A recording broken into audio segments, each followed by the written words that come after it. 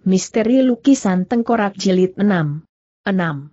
Kejadian masa lalu Tongkeng dan KHO Kit yang melayang masuk ke dalam halaman gedung, segera mereka sudah berada di kebun belakang bangunan itu, di sana selain terdapat aneka bunga dan gunung-gunungan, juga terlihat gardu yang indah.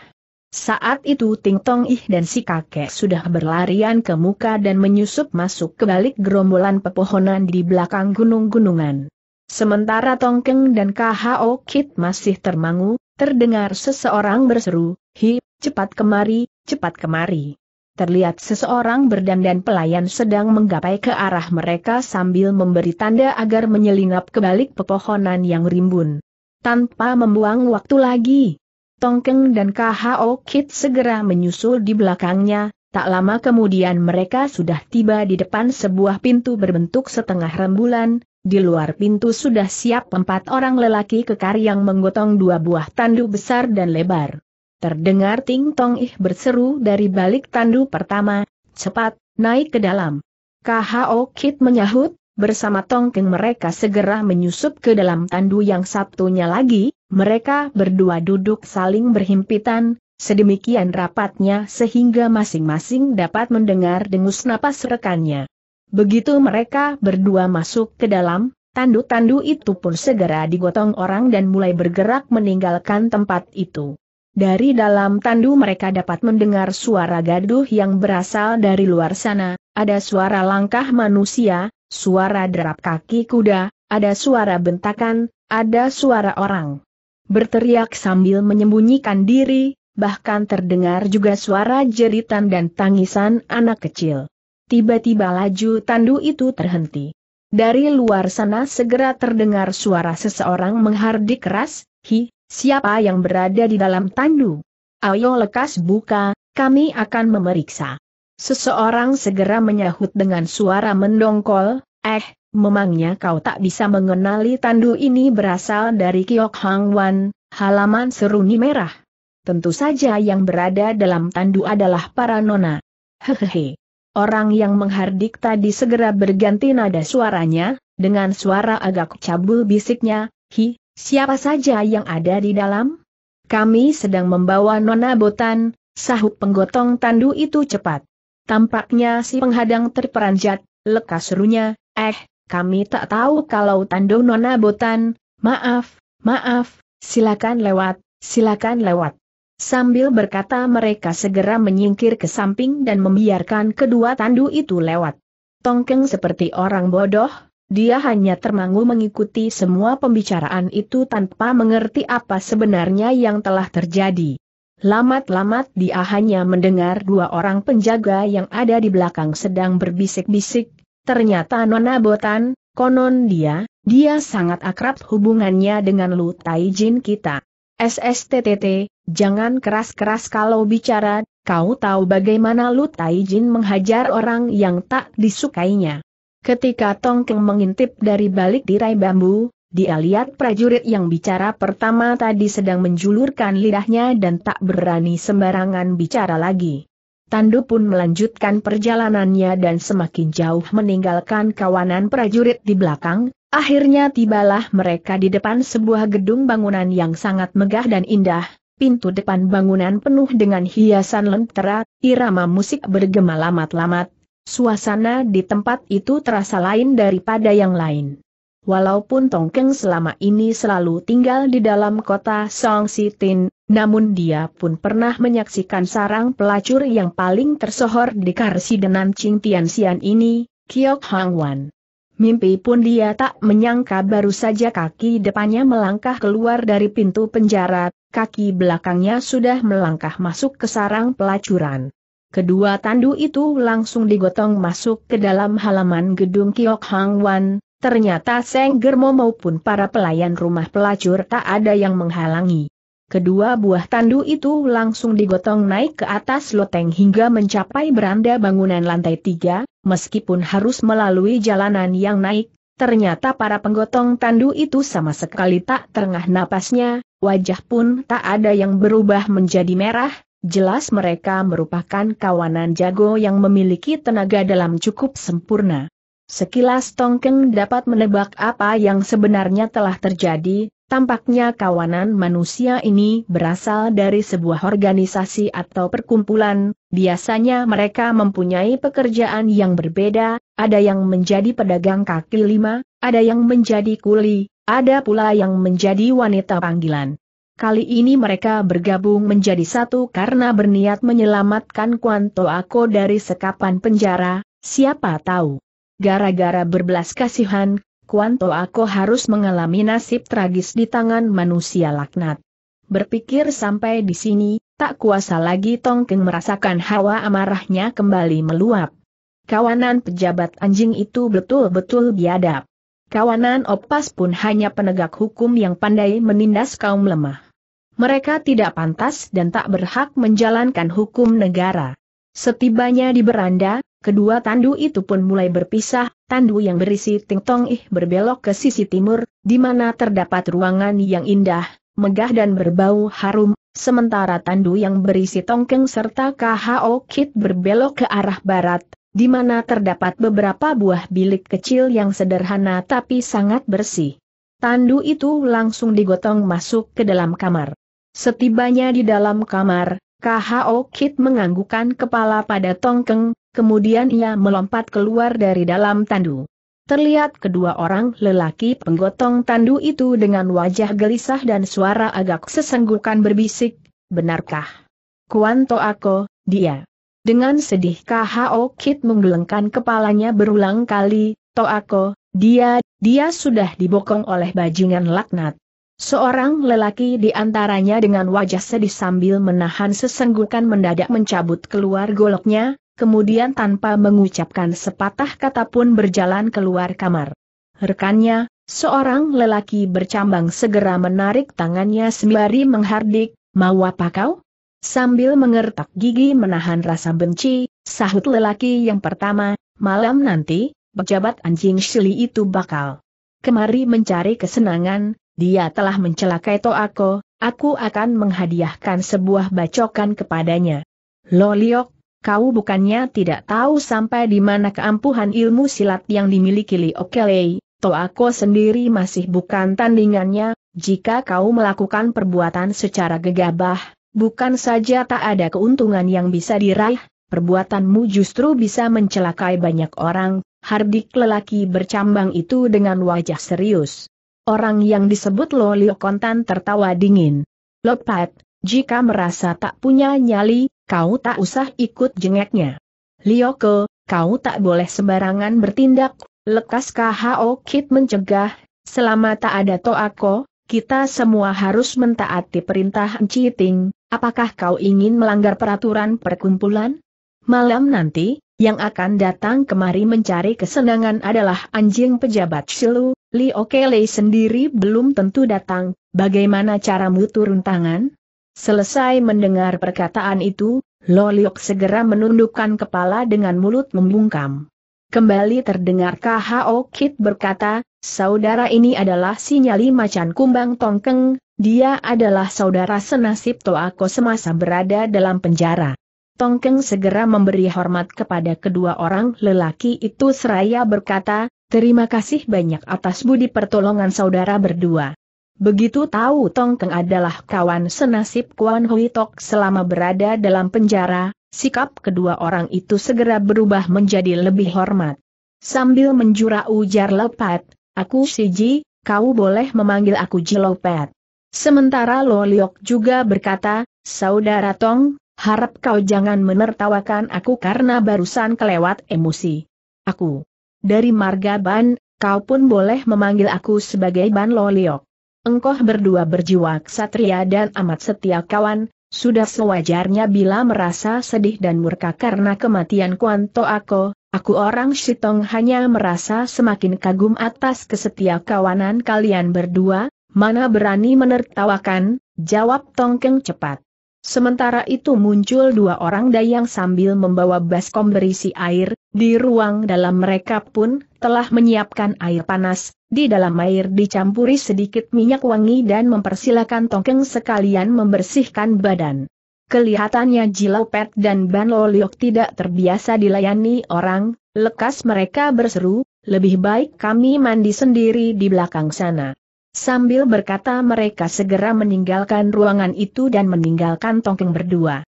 Waktu itu kedua orang dayang tadi sudah menghampiri Tongkeng dan membantunya melepaskan pakaian, lelaki ini menjadi kikuk, kelihatannya dia pun tidak biasa mandi dilayani orang, tapi untuk sesaat dia pun tak tahu apa yang harus diperbuat sehingga gerak-geriknya menjadi salah tingkah. Menyaksikan hal itu, sambil tertawa KHO Kit segera berseru, lebih baik kalian keluar dulu. Kedua orang dayang itu pun segera minta diri dan keluar ruangan.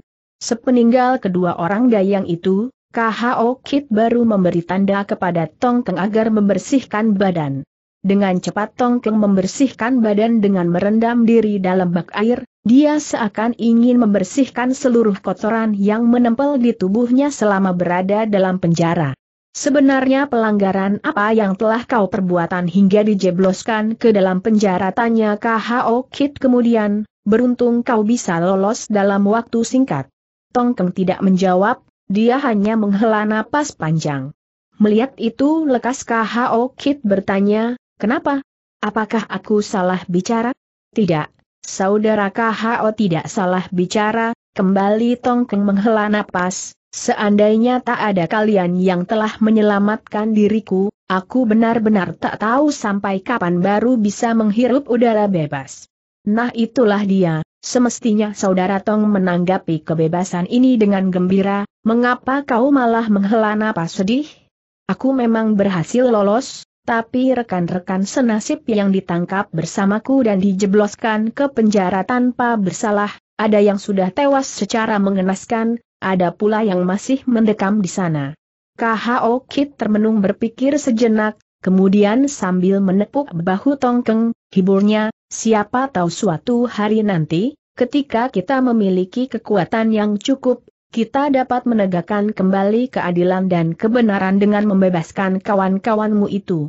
Tongkeng hanya tertawa getir, begitu banyak manusia yang disekap dalam penjara, dia sendiri pun tidak tahu mana yang benar-benar bersalah dan mana yang tidak bersalah, kendati pun mereka berhasil mendobrak penjara, apa yang bisa diperbuat dan bagaimana harus memilah? Akhirnya sambil menepuk pula bahu KH Okip, dia berkata, tempat kalian ini adalah sarang pelacuran, jawab KH Okip sambil tertawa. Jadi kalian, pelayan kebersihan dalam rumah pelacuran ini jawab KHO Kit cepat. Ketika melihat Tongkeng agak tertegun, sambil tertawa dia melanjutkan, sebenarnya tempat ini adalah markas sebuah perkumpulan, ada yang menyamar menjadi tukang tandu, ada yang menjadi tukang sapu, ada pula yang membaur dalam rumah pelacuran. Kami semua memang sengaja membaur dalam kehidupan masyarakat dengan tujuan agar bisa menyumbangkan sedikit tenaga untuk rakyat kecil yang tertindas, apalagi hidup di zaman edan seperti saat ini, organisasi kami bernama Bu Subun, perguruan tanpa guru, sebab mereka semua tidak memiliki guru, yang dimiliki hanya seorang toako yakni Kuan Huitok, Kuan Toako. Jadi hubunganmu dengan mereka tanya Tongkeng. KHO Kit segera tertawa lebar. Aku sendiri belum lama bergabung dengan Bu Subun, itu pun berkat bimbingan Kuanto aku. Oha, Kuanto aku pasti sangat baik terhadap kalian semua? Bukan cuma sangat baik. Dari cerita saudara-saudara yang lain, konon seandainya tak ada Toako dan Enciting, mungkin sejak lama mereka sudah mati disiksa kawanan pejabat korup itu, apalagi bisa belajar sedikit kepandaian. Lalu Enciting itu tak tahan Tongkeng bertanya. Maksudmu Ting Tong ih, Enciting? Jangan khawatir, meski Enciting adalah seorang wanita, namun dia lebih teguh dan ulet ketimbang lelaki, tak mungkin ada apa-apa dengan dirinya. Kemudian setelah berhenti sejenak, tambahnya, Aku akan keluar sebentar untuk bebenah, lebih baik kau jangan. Sembarangan pergi, tempat ini penuh dengan aneka macam manusia, jadi hindari kesulitan yang tak perlu. Tongkeng manggut-manggut dan KHO Kit pun pergi meninggalkan tempat itu. Selesai membersihkan badan dan berganti pakaian, Tongkeng berdiri di tepi pagar loteng sambil menengok ke bawah, terasa angin berhembus semilir, matahari senja telah condong ke barat, pemandangan di sekitar situ terasa sangat indah dan nyawan. Dari kejauhan dia pun dapat menyaksikan pintu gerbang kota yang dijaga sangat ketat.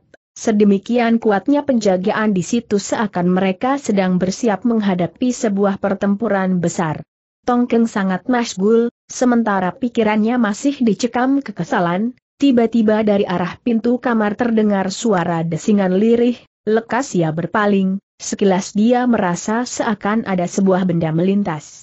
Tongkeng mengira matanya sudah lamur hingga salah melihat, tapi dia pun merasa seakan benar-benar ada seseorang yang melintas dari tempat itu. Tongkeng tertegun. Dari bawah loteng suara musik dan gelak tawa orang masih terdengar lamat-lamat. Tiba-tiba satu ingatan melintas, Ternyata selama ini kawanan jago gagah itu berdiam di dalam gedung yang penuh dengan aneka ragam manusia, tapi mereka masih bisa mempertahankan kebersihan hatinya, jelas hal ini bukan sesuatu yang mudah dilakukan. Tapi dia sangat yakin kalau barusan telah menyaksikan ada seseorang melintas di depan kamarnya. Aneh benar, demikian ia berpikir, sudah jelas ada orang lewat di depan kamarku, Kenapa tak nampak ada manusia di situ? Pikir punya pikir, akhirnya tak tahan dia menengok keluar kamar. Benar saja, di situ tak ada seorang manusia pun. Ketika menengok keluar, dia pun menyaksikan ruangan megah yang berada di bangunan sayap timur. Sewaktu Tongkeng balik lagi ke kamar, Cahaya matahari senja persis memancar ke dalam kamarnya dan menyinari selembar lukisan kuno yang menempel di atas dinding ruangannya. Tiba-tiba ia teringat kepada Ting Tong Ih, Ting Tong Ih dengan mantel ungunya seolah berdiri lesu di hadapannya. Lekas Tong Keng mengucek matanya berulang kali, ternyata dia sedang melamun. Diam-diam Tong Keng merasa heran, setiap kali membayangkan Ting Tong Ih, dia seolah tak tahan untuk mengendalikan diri dan ingin sekali membayangkan wajahnya terus-menerus. Kecantikan Ting Tong ibarat sekuntum bunga botan biru yang mekar di malam hari, dia pun bagaikan asap dupa wangi yang melayang tak menentu di udara. Sebenarnya hubungan apa yang terjalin antara gadis itu dengan Kuanto Ako? Kini Kuanto Ako sudah tewas, dia pasti amat bersedih, apa yang sedang ia lakukan sekarang? Di manakah dia saat ini? Ketika membayangkan sampai di sini, tak kuasa lagi Tongkeng mengayunkan langkahnya mendekati ruangan kamar di sebelah timur beranda. Tongkeng sudah melewati tiga empat buah bilik, dari balik ruangan ia mendengar suara irama musik, suara orang tertawa, rayuan gombal dan desisan menggoda, kesemuanya itu membuat jantungnya berdebar keras. Ia tak tahu ruangan mana yang ditempati Ting Tong Ih, Sementara hatinya masih ragu, tiba-tiba terdengar sebuah pintu kamar dibuka orang. Tongkeng merasa kurang baik bila di saat seperti ini kehadirannya diketahui orang, dengan perasaan gugup ia segera menempelkan punggungnya di dekat sebuah pintu. Entah karena gugup atau karena menggunakan tenaga kelewat besar, tiba-tiba pintu yang menempel punggungnya terbuka dan tak ampun tubuhnya pun jatuh telentang ke dalam ruangan. Begitu roboh terjungkal ke dalam kamar, Tongkeng sendiri pun merasa sangat kaget, lah lihat kamar itu sangat inilah dengan perabot yang mewah dan bau harum semerbak yang menyegarkan hati, jelas kamar tidur seorang nona.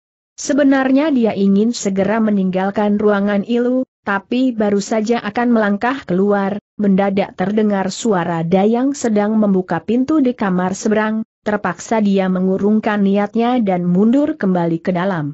Selang beberapa saat, dayang itu sudah berlalu, kembali Tongkeng bersiap meninggalkan ruangan, tiba-tiba ia mendengar suara isak tangis seseorang yang amat lirih berkumandang dari dalam kamar.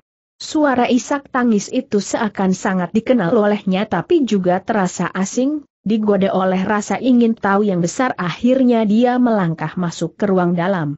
Bentuk ruangan itu aneh sekali, semakin berjalan ke dalam ternyata ruangannya semakin lebar, di belakang sebuah sekat berwarna hitam berlapis pula sebuah tirai kain.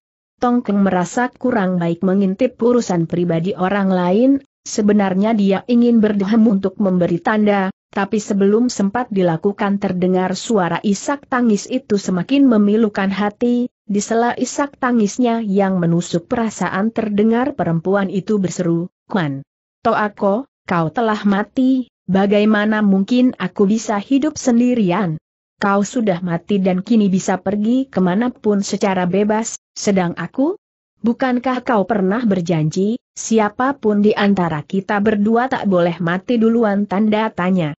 Hati Tongkeng bergetar keras, itulah suara Ting Tong Ih, Terdengar Ting Tong Ih kembali berseru sambil menangis, kau tinggalkan permainan yang tersisa kepadaku, ini tidak adil namanya, aku tak mau mengurusinya lagi, kalau kau hidup, aku akan membantumu mengurusinya, kini kau telah mati, buat apa aku mesti bersusah payah. Kau sering kali berharap semua saudara bisa hidup lebih layak, lebih manusiawi, tapi kau, kenapa kau harus mati? Kini kau sudah pergi, aku, aku pun ingin pergi bersamamu, Toako, tunggulah aku, tunggulah kedatanganku. Ucapan itu begitu tegas dan bersungguh-sungguh, seakan gadis itu segera akan mengambil jalan pendek. Tak terlukiskan rasa kaget Tongkeng setelah mendengar perkataan itu, tanpa berpikir panjang lagi segera ia menerjang masuk ke dalam ruangan. Begitu masuk ke dalam kamar, ia saksikan Ting Tong Ih dengan memegang sebilah gunting tajam sedang mengarahkan ke tenggorokan sendiri. Nona Ting, jangan kau lakukan teriak Tong Keng keras. Karena terlalu keras dia menerjang masuk, tirai kain yang tergantung di situ segera melilit kepala berikut tubuhnya, padahal waktu itu dia sedang menerjang masuk dengan cepat, maka tak ampun lagi kain tirai itu tertarik hingga robek sebagian tubuh dan tangan Tongkeng yang masih terbalut kain tirai menerjang ke hadapan Ting Tong Ih, untuk sesaat dia tak mampu merampas gunting yang berada di tangan gadis itu. Tampak Ting Tong Ih mengenakan pakaian dalam berwarna putih, rambutnya yang panjang terurai di bahu, walaupun sorot matanya memancarkan hawa amarah namun sikapnya tetap tenang dan hambar. Menyaksikan kecantikan wajah si Nona, sesaat Tongkeng agak tertegun, tapi kemudian serunya cepat, kau tak boleh mati, kau tak boleh mati, Nona Ting. Sambil berseru dia meronta sepenuh tenaga, dengan tenaga kasarnya yang besar bagai kebau, rontaan itu seketika membuat kain tirai tercabik-cabik, tapi cabikan kain tirai justru menutupi kepala dan menyumbat mulutnya, membuat lelaki itu untuk sesaat tak mampu bicara. Dengan susah payah akhirnya dia berhasil juga melepaskan diri dari jeratan kain tirai, baru akan berbicara, Ting Tong I sudah tak tahan lagi dan tertawa cekikikan. Begitu dia tertawa, semua kepedihan yang menempel di wajahnya pun ikut sirna. Menyaksikan wajahnya yang cantik, bibirnya yang merah dan mungil, kulit badannya yang putih bersih serta sepasang matanya yang jeli, sesaat Tongkeng berdiri termangu, dia menjadi lupa bahwa kain tirai masih membelenggu badannya. Mau apa kau datang kemari dengan wajah dingin? Ting Tong I segera menegur. Bukankah kau ingin bunuh diri Tong Keng balik bertanya dengan wajah tertegun.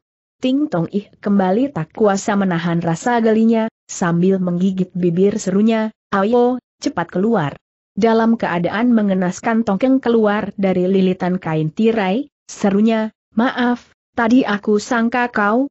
Sambil berkata dia langsung berjalan keluar dari kamar itu. Tunggu sebentar, sekonyong-konyong Ting Tong Ih memanggilnya, katakan, sejak kapan kau berkenalan dengan Kuanto aku? Dia, apakah kehidupannya di dalam sana cukup baik? Tongkeng kembali berpaling, dia tak tahu apakah sepasang mata Ting Tong Ih sedang berkaca-kaca oleh air mata atau tidak, tapi segera sahutnya, Sejak kedatangan Kuanto aku di dalam penjara, bagi kami yang berada di dalam serasa kedatangan seorang bintang penolong, tahukah kau, dulu kepala sipir penjara maupun anak buahnya suka berbuat semaunya, apa yang ingin mereka lakukan segera dilakukan terhadap kami, Suatu kali kepala sipir menggunakan alat siksaan yang paling kejam untuk mencabuti kuku jari Suloya, tapi Toako segera mendobrak pintu penjara dan menyerbu ke arnab penyiksaan, tahukah kau apa yang dia lakukan? Tanda tanya. Apa yang ia lakukan? Tanya Ting Tong Ih dengan mata berbinar.